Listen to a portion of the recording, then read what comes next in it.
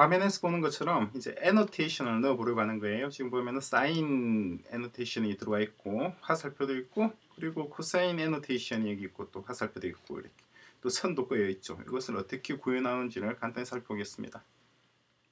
먼저 코사인부터 살펴보죠. 사인과 코사인은 뭐 과정은 동일합니다. 먼저 어, 시작 지점과 끝날 지점을 지정을 해야 되는데 어, 2 곱하기 파이 그리고 이것을 3으로 나눈 3분의 그러니까 2파이 되는 지점을 어, 숫자로 따지면 2.1 정도 되겠죠. 2.1 정도 되는 숫자를 t에다가 넣습니다. 그러면은 이제 파이 플랫 해서 어, tt 그리고 제로 어, mp 코사인 t 이게 무슨 말이냐면은 이거예요. 여기서 어, 시작하는 지점과 끝나는 지점의 좌표를 지정을 해주는 겁니다.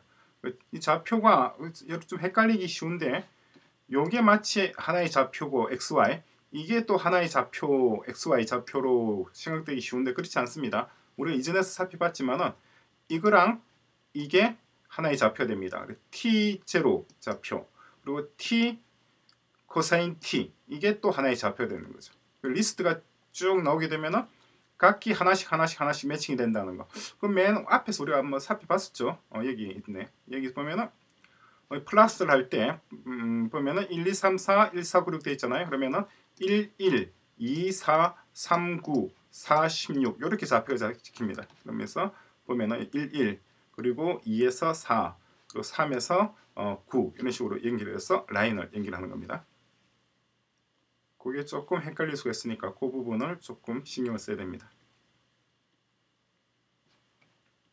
그렇게 해서 시작 지점은 T0 그리고 끝나는 지점은 t에서 코사인 t 색상은 blue line width는 1.5고 스타일은 점선으로 해달라. 이렇게 하면은 만들어지는 것이 딱 요것만 만들어집니다. t0 되는 지점이죠. T0고 그리고 이건 t 코사인 t 되는 지점 이 지점이죠. 이렇게 연결이 되는 거죠. 아직 점은 안 만들어졌습니다. 그러니까 선만 이렇게 점선이 딱 만들어지는 거죠 그런 다음에 이 동그라미 점을 하나 찍어야 될 거 아니에요. 동그라미 점 찍는 것이 scatter method입니다. 위치는 t와 어, 어 이게 아니네 위에 있네 t와 코사인 t 그리고 크기는 50이고 컬러는 blue 정도입니다. 그게 요 점입니다.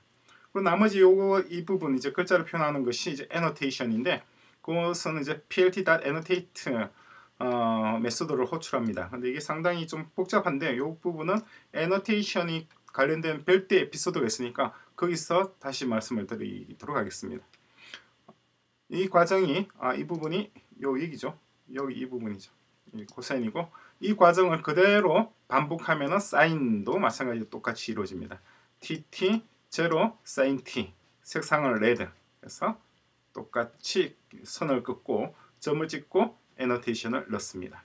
이것이 이제 annotation 방법이고 어, 방금 말씀드렸습니다만 annotation은 별도 에피소드에서 자세히 다루도록 하겠습니다.